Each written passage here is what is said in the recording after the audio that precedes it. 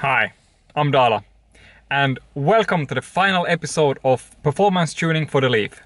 In this episode, we will be uh, doing the resolver coding and we will be installing a CAN bridge and we will also do some testing and see if we get some better 0 to 100 times. So, let's get started.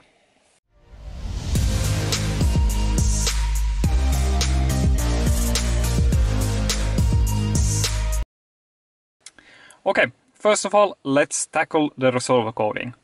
Uh, here I have uh, LeafSpy, but this is an old version. Uh, I just updated it on my phone here. And uh, I'm gonna lay over a screenshot so you can see this better because this phone is a bit messed up. But uh, basically, uh, LeafSpy can now read the resolver ID or resolver offset. Uh, I've spoken to the creator of LeafSpy and sent him some logs, uh, the one that we took all the way back uh, in episode 0 on this series. So LeafSpy can now read it, and like you saw in that screenshot, this inverter has the offset 76. The newer inverter does not use all the numbers, they only use the first number. So that makes this all a bit uh, different. Let's see how it works. But um, now that we can use LeafSpy for reading, we can't yet use LeafSpy for writing. That feature is still going to be implemented. But by the time you're watching this video and thinking about doing this upgrade yourself, uh, LeafSpy will most likely support writing this resolver offset also. But uh, since this version is not yet available, I'm gonna be doing the writing manually. So now I'm gonna take out a laptop. Okay, I have the laptop hooked up to uh, Carcan and I am monitoring the bus and um, now I'm gonna try sending. I have this uh, file that I made. Uh, this all will be irrelevant soon, but uh, I'm gonna put it up on screen here and I'm, I'm gonna take a screenshot of it. But uh, basically this will all be integrated into LeafSpy soon, so you don't have to worry about this. And um, now I'm just gonna send those commands. I'm gonna use this um, traffic generator function, uh, this uh, replay log thing that is built into CanRunner. And uh, here I am going to select uh, this file that I made. It's called write ID. And um, the only important one is, is the one in the beginning here, 86. Uh, I'm hoping that the inverter will just ignore the other values that I'm going to be sending. But um, fingers crossed. Oh my god, it worked. Uh, I don't know if you can see this, but it now says 86 instead of that 77 number. So we did it! We now have the correct offset written into the car.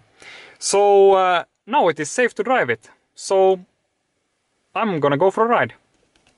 Okay, so I'm out driving. I still have that check EV system warning light, but uh, we will ignore that for now. Let's get to that later. We need a CAN bridge for that.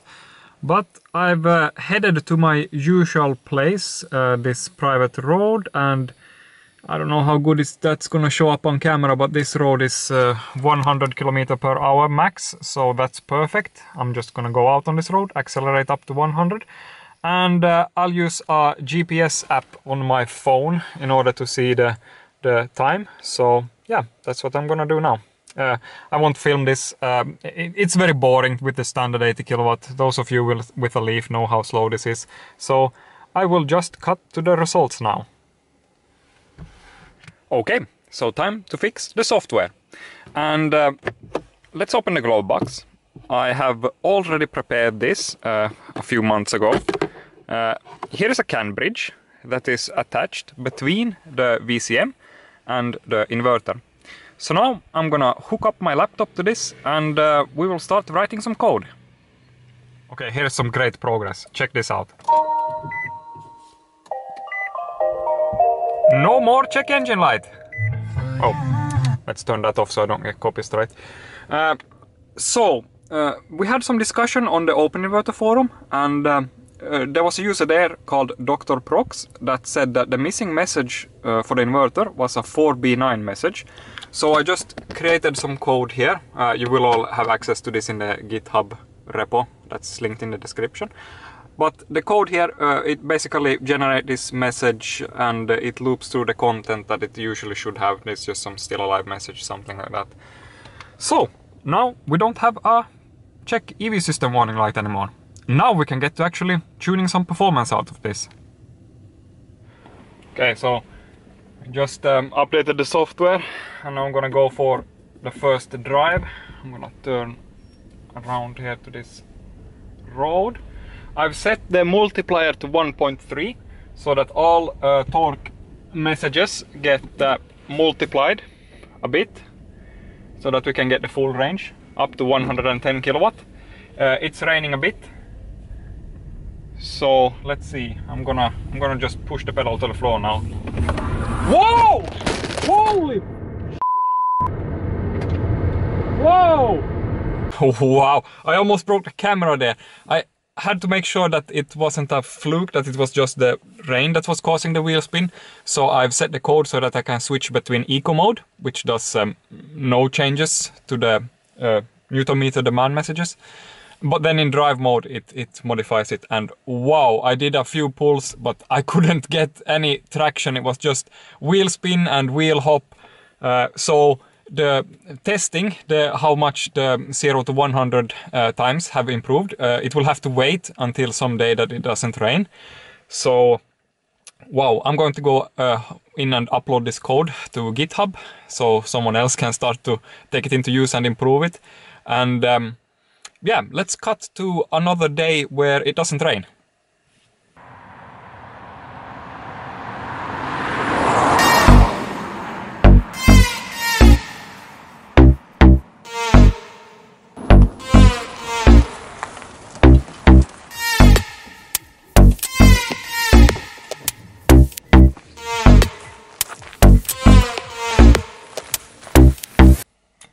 Wow, this project went so much better than I had anticipated.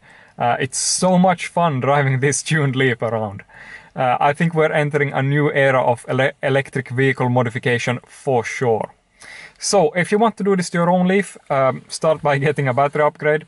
Uh, then you get the newer inverter and uh, a CAN bridge and my code. And the code is available for free on GitHub, so check it out, link in the description.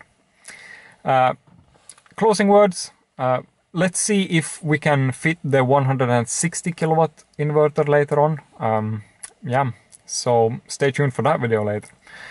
Uh, but again, massive thanks to all my Patreon supporters.